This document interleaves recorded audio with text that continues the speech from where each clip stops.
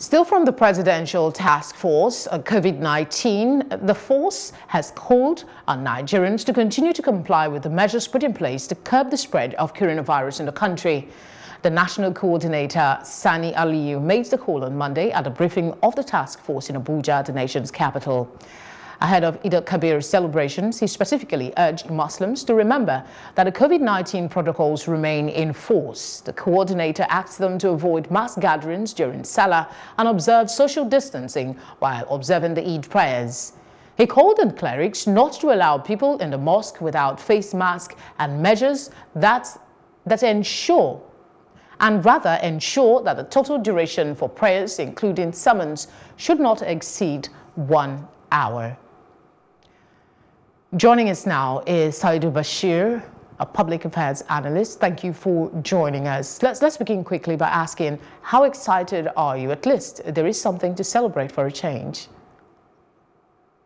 Absolutely. There's um, a whole lot to celebrate. Uh, this is a season of gratitude.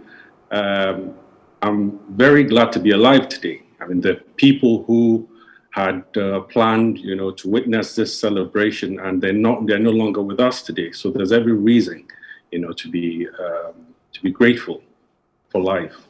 Uh, with COVID-19, life has changed quite reasonably. What will this mean uh, for the celebration of this Eid?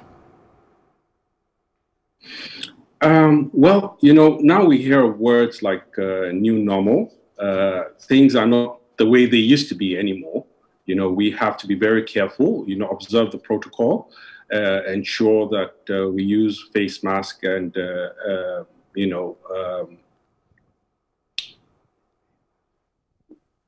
ensure that uh, we, we observe all the protocols that have been set aside because uh, as, as you mentioned earlier, there's a major crisis going on. the pandemic is not going anytime soon, as we've seen, until maybe a vaccine is, uh, is approved.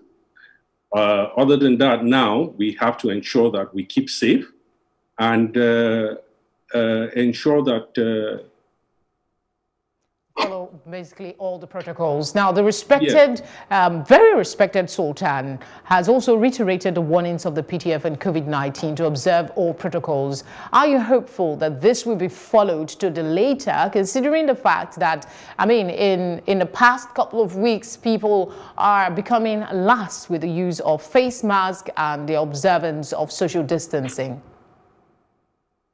Uh, unfortunately, um, people have not observed the protocols. And for obvious reasons, you know, people are frustrated that uh, they're not seeing positive moves.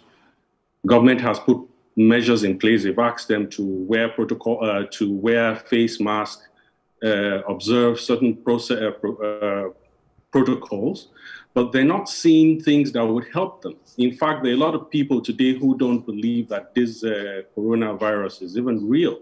True. You know, but the truth is, the corona is real, and it's here. We need, we need, we need. Government needs to uh, sensitize uh, people more. You know, they need to go out there and uh, campaign on the importance of uh, of uh, uh, keeping safe. What, what's your word to Nigerians, um, particularly Muslim faithful, as you prepare for this all-important festivity? This festival is festival festival of sacrifice. This is the time where Prophet Ibrahim sacrificed his uh, love son, wanted to sacrifice his love son for the love of God. So this period is a season of sacrifice. Is a period where we uh, remember all those who are less privileged, our neighbors, our family members who can afford, because these are difficult times for Nigerians. So this is a time where you have to think of the less privileged and try to reach out and help. So it's an important season. It's a festival of giving. And I all think right. we should all uh, take advantage of this season. You know, Mr. Saidu Bashir, thank you very much for joining us on the news.